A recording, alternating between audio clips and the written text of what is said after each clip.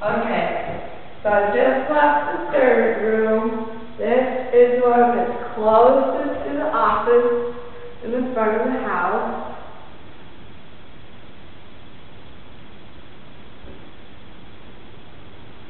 And this is the second room, the room that I said I liked. This is the back of the house. And this is the first the smallest one, but the most secluded.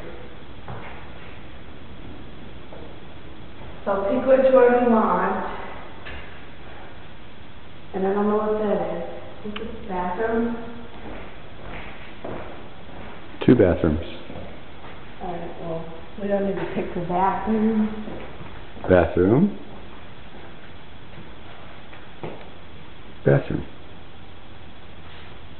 Skylight.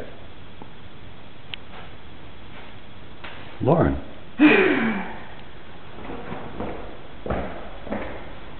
Okay, so that's uh, front of the house. That faces south. The little office faces southwest. That bedroom, the L-shaped bedroom, has a window that faces southwest. That one faces northwest.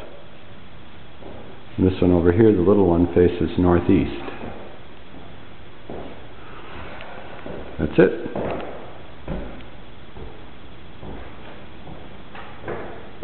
Are you done?